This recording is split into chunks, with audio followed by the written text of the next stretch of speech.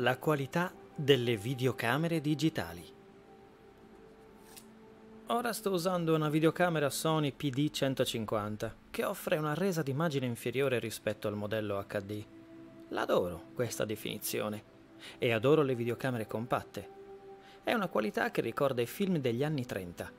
Agli inizi, infatti, l'emulsione della pellicola era piuttosto mediocre, così le immagini sullo schermo erano meno dettagliate. Il risultato che si ottiene con una Sony PD è abbastanza simile. Zero alta definizione. A volte quando in un fotogramma non riesci a capire che cosa vedi o c'è una zona d'ombra, la mente può lasciarsi trasportare dalla fantasia. Se invece nel fotogramma è tutto estremamente nitido, cosa resta da immaginare? Nulla. Purtroppo l'alta definizione offre immagini fin troppo nitide nella mia sala di missaggio ho visto uno spezzone di un film girato ad alta definizione, un bel film di fantascienza. Peccato che, in secondo piano, riuscissi a intravedere alcune viti da legno in un quadro di comando che doveva essere in metallo. Sarà molto più difficile costruire dei set adeguati alle videocamere ad alta definizione. Il futuro del cinema. Il nostro modo di guardare i film sta cambiando. L'iPod video e i filmati diffusi sul web stanno rivoluzionando tutto. In futuro i film si guarderanno su schermi di formato minuscolo e non più sul grande schermo. C'è anche una buona notizia. Perlomeno ognuno avrà un paio di cuffie. Credo che l'importanza della colonna sonora crescerà sempre di più Comunque potresti anche collegare l'iPod a un qualche apparecchio per proiettare il film su un grande schermo nella comodità nel silenzio di casa tua, con subwoofers e spettacolari casse stereo, così da riuscire a immergerti nel mondo dei film. Il punto fondamentale è questo. Quando si apre il sipario e scendono le luci, dobbiamo essere in condizione di entrare in quel mondo. Per molti versi sta diventando difficilissimo. La gente parla troppo al cinema sullo schermo poi c'è una miseria, minuscola immagine striminzita. Come fai a vivere l'esperienza del film? Sarà un cammino piuttosto impervio, secondo me. Però esiste davvero la possibilità di girare film nitidissimi, senza rigature, sbavature, schizzi d'acqua, lacerazioni e di controllare la qualità dell'immagine in un'infinità di modi. Quando si fa attenzione a come un film viene proiettato, la visione può essere un'esperienza meravigliosa che ti consente di entrare in un altro mondo. Stiamo ancora escogitando il modo di renderlo possibile. C'è il digitale però, c'è anche l'iPod video. Dobbiamo solo scendere dalle nuvole e metterci al passo coi tempi. Il buon senso. Buona parte del lavoro di un regista si svolge usando il buon senso. Se resti vigile, attivo e pensi al modo in cui realizzare una cosa, hai la soluzione sotto gli occhi.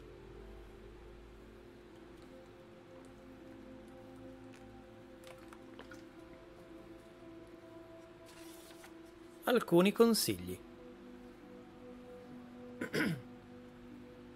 La verità sorregge la terra profumata e rende umide l'acqua brulicante di vita. La verità fa bruciare il fuoco e soffiare i venti, brillare il sole e crescere tutte le forme di vita. Una verità segreta è a fondamento di tutto. Trovala e risulterai vittorioso. Ramayana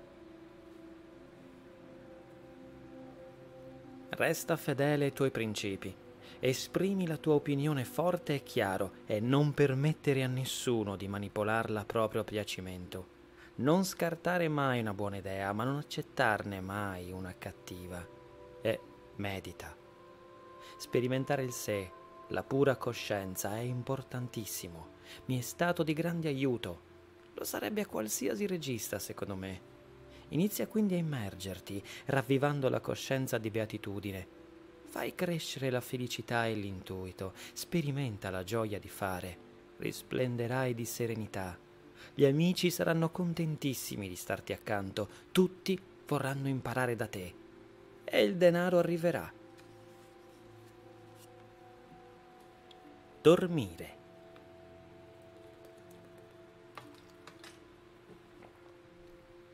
Dormire è importantissimo. Devi far riposare il fisico per riuscire a lavorare e a meditare bene. Quando non dormo abbastanza medito in modo più spento. Può perfino capitare di schiacciare un sonnellino durante i primi minuti perché ti stai rilassando. Quando sei ben riposato, invece, hai un'esperienza più lucida, più profonda. Può darsi che tu trascenda anche se mediti quando sei assonnato. Comunque, è decisamente meglio affrontare la meditazione a mente lucida e sgombra. Quando ti immergi, l'esperienza è potentissima e molto profonda. Durante la meditazione, la mente si assesta a livello più profondo, il fisico a un livello appena inferiore. Oggi, grazie a numerose ricerche, gli scienziati sanno che nello stato più profondo di meditazione ci si riposa molto più di quanto non succeda durante il sonno più profondo. In ogni caso, dormire è importante per prepararsi a raggiungere questo livello. Tieni duro. È un bel dilemma. Vuoi fare arte, ma devi anche vivere. Quindi sei costretto ad avere un lavoro e di conseguenza a volte sei troppo stanco per dedicarti all'arte. Se ami ciò che fai, però, non smetterai di farlo comunque. Io sono stato fortunatissimo. Sul nostro cammino incontriamo persone che ci aiutano. Nella mia vita ci sono state un sacco di persone che mi hanno dato una mano ad andare avanti. L'aiuto arriva perché hai già fatto qualcosa, quindi non smettere. Devo alla buona sorte molto di quanto mi è successo. Il mio consiglio però è questo.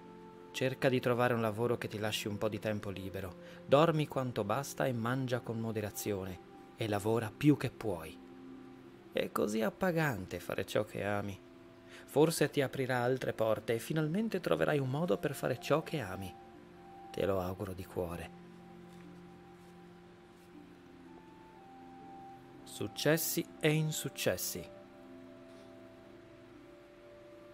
Per certi versi, più film hai diretto, più risulta facile dirigerne altri. Acquisisci dimestichezza con il procedimento di catturare un'idea e di tradurla in concreto. Capisci come usare gli strumenti e le luci, come funziona l'intero procedimento. Ci sei già passato una volta. Allo stesso tempo risulta però più difficile perché quando fai uscire un altro film, questo viene letto nel contesto di quelli precedenti. Verrà giudicato in base a essi se hai appena messo a segno un successo, senti che questa volta potresti avere la peggio. Se invece hai perso punti per colpa di un film molto scadente, come è successo a me nel caso di Dune, può darsi che tu non abbia affatto paura. Senti di non poter cadere più in basso. Puoi provare l'euforia e la libertà di chi non, non ha nulla da perdere. Devi imparare a trovare un equilibrio tra i successi e gli insuccessi il successo può ucciderti tanto quanto un fallimento. L'unica maniera per raggiungere l'equilibrio è sintonizzarsi sul livello del campo unificato. Ti è amico. Non puoi sbagliarti, o ci sei o non ci sei dentro il campo. Quando l'hai ravvivato del tutto non puoi perdere, qualunque cosa accada.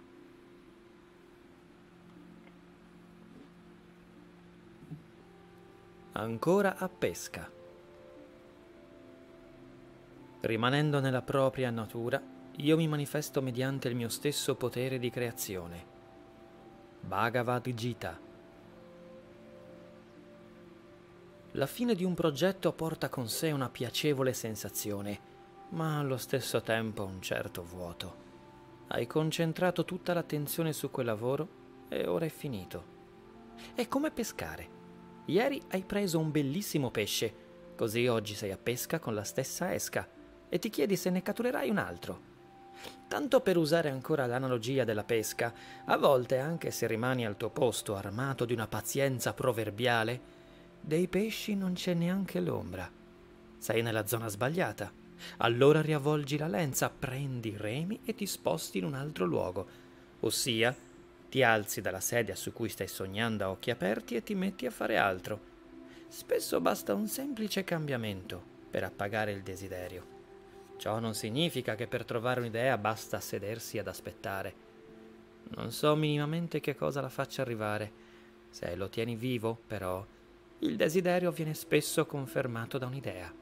e quando trovi un'idea, sai di aver ricevuto una conferma. La solidarietà.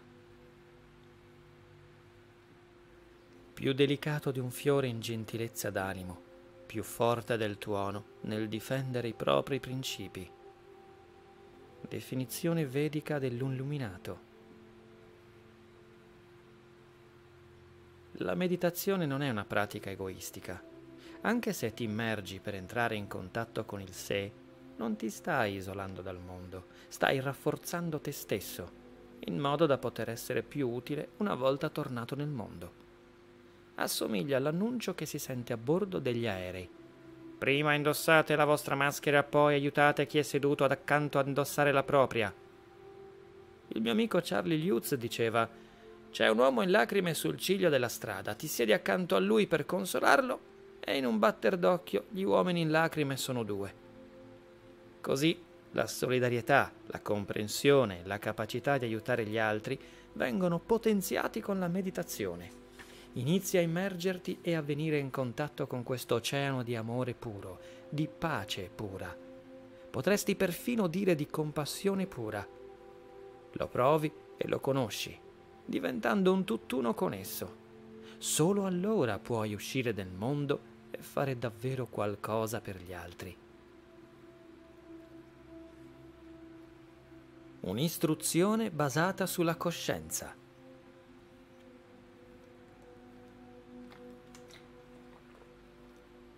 Una delle ragioni principali che mi spinsero a parlare in pubblico della meditazione trascendentale è il fatto di aver capito quanto possa essere d'aiuto ai bambini. I bambini soffrono. Lo stress li colpisce a un'età sempre più bassa, praticamente nello stesso istante in cui scendono dalla culla. Per non parlare di tutti i diversi disturbi dell'apprendimento di cui non avevo mai sentito parlare prima d'ora. Allo stesso tempo ho visto i risultati di un'istruzione basata sulla coscienza, ossia un tipo di istruzione che sviluppa il pieno potenziale dell'uomo. È la stessa istruzione che ricevono tutti, con un piacevole extra. Gli studenti imparano a immergersi in se stessi e a dischiudere il sé, la pura coscienza. Il dottor George Rutherford, dirigente scolastico di Washington, ha introdotto la meditazione trascendentale in tre scuole. Prima di allora erano invase dalla violenza, sparatorie, suicidi, insomma violenza in generale. Ha convinto il personale, gli insegnanti, gli studenti a meditare e ha visto la situazione volgersi al meglio. Anche il dirigente scolastico Carmen Namdi di Detroit ha introdotto la meditazione trascendentale nella propria scuola, la Nataki Taliba, circa nove anni fa. I bambini meditano insieme dieci minuti al mattino e altri dieci al pomeriggio e la scuola è pervasa di beatitudine. I bambini sono più felici, prendono voti più alti, sono estroversi e riscuotono successi di ogni genere. Funziona! A scuola assimili più conoscenze teoriche perché ti diverti. Allo stesso tempo, però, espandi il contenitore della conoscenza. Basta metterla a confronto con gli esiti di un'istruzione ordinaria, che è una stupidata bella e buona. Impari dati e cifre, ma non conosci te stesso. Una sera assistetti a una recita che si teneva alla Maharishi School nell'Iowa una scuola secondaria superiore che applica l'istruzione basata sulla coscienza. Quella sera faceva freddo e pioveva e quando mi dissero che avrei assistito a una recita scolastica pensai accidenti, sarà una serata interminabile. Sedevo nel bel mezzo di un piccolo teatro, uno splendido teatro, quando gli studenti entrarono in scena. Non erano attori professionisti, erano semplicemente alcuni ragazzi che inscenavano una recita. Non mi è più capitato di rimanere tanto di stucco. Pensai che fosse migliore di uno spettacolo di Broadway, perché ciò che vedevo sui loro volti era coscienza, una coscienza vivace, brillante. Avevano una tale sagacia, un tale ritmo, le battute d'umorismo colpivano nel segno. Studenti simili non danno preoccupazioni, sono autosufficienti se la caveranno benissimo nel mondo e lo renderanno migliore con la loro sola presenza. La mia fondazione, la David Lynch Foundation for Consciousness Based Education and World Peace, è stata istituita per aiutare altri ragazzi ad avere questo tipo di esperienza. Abbiamo raccolto fondi e li abbiamo elargiti a diverse scuole in tutti gli Stati Uniti perché migliaia e migliaia di studenti possano imparare a meditare. È stupefacente vedere i bambini che meditano. È come se fossero impermeabili allo stress, non li sfiora nemmeno. Voglio portare avanti questo progetto non solo nell'interesse degli studenti, per la crescita della loro coscienza, ma nell'interesse di noi tutti, perché siamo come lampadine. Proprio come lampadine possiamo godere della luce più vivida della coscienza che è dentro noi stessi e irradiarla. Penso che la ricetta della pace sia tutta qui. Se 10.000 nuovi studenti iniziassero a meditare, questo fatto avrebbe ripercussioni sul nostro paese. Sarebbe simile a un'ondata di pace, armonia, coerenza, vera pace. A livello individuale, la luce della coscienza scaccia la negatività sempre più lontano. Può fare lo stesso a livello mondiale.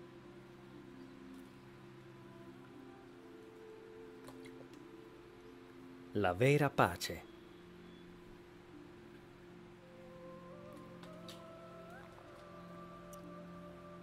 Evita il pericolo prima che sia arrivato. Yoga Sutra. La gente è talmente convinta che la pace sia irraggiungibile da averla ormai resa una farsa. Una ragazza vince un concorso di bellezza e il colmo del ridicolo è che vuole la pace nel mondo. Tutti si fanno una grassa risata. Nella pace non ci crede nessuno. È una bella idea tutto qui, un'idea da illusi, svuotata di ogni significato. La pace non ci sarà mai. Viviamo in questo buco d'inferno e pensiamo che le cose debbano andare così. E se invece ci sbagliassimo? Sappiamo che quando un essere umano eleva la coscienza, la luce dell'unità, a livello esponenziale, le cose negative iniziano a ritirarsi in questo individuo l'intelligenza, la creatività, la beatitudine aumentano sempre di più. La negatività si allontana e un'influenza positiva si riversa nel mondo. Quindi, se ci fossero tante, tantissime persone che meditano, sarebbe meraviglioso. Anche se così non è, alcuni gruppi ristretti di meditatori esperti potrebbero comunque essere di grande aiuto in teoria, se la radice quadrata dell'1% della popolazione mondiale, oppure 8.000 persone, praticasse in gruppo tecniche di meditazione avanzata, secondo ricerche pubblicate su riviste scientifiche, l'influenza di questo gruppo sarebbe elevata al quadrato rispetto a quella dello stesso numero di persone che meditassero sparse per il mondo. I gruppi per la creazione della pace sono stati costituiti in occasione di studi a breve termine Ogni volta che i meditatori più esperti si sono riuniti per meditare, la loro azione ha prodotto effetti clamorosi sul territorio circostante, riducendo il crimine e la violenza in modo quantificabile. Come hanno fatto? In ciascuno di noi c'è un campo di unità, e lì da sempre, sconfinato, infinito ed eterno. È il livello della vita che non ha mai avuto una genesi. Esiste ed esisterà sempre può essere ravvivato. Nell'essere umano l'atto di ravvivare questo campo conduce all'illuminazione, il pieno potenziale dell'individuo. A livello globale, lo stesso atto compiuto da un gruppo per la creazione della pace sfocerebbe nella vera pace mondiale.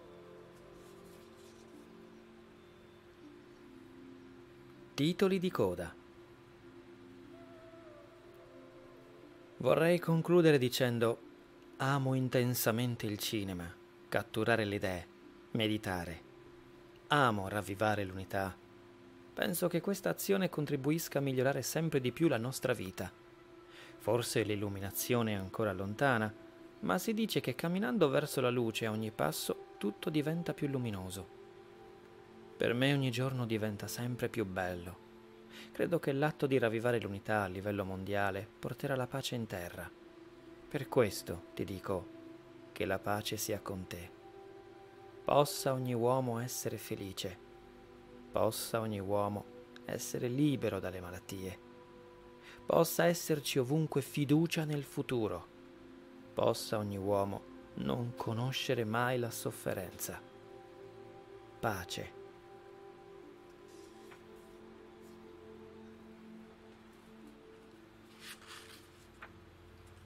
E se sei arrivato sino a qui, hai diritto a votare come premio fedeltà il prossimo libro da farmi leggere in versione no edit.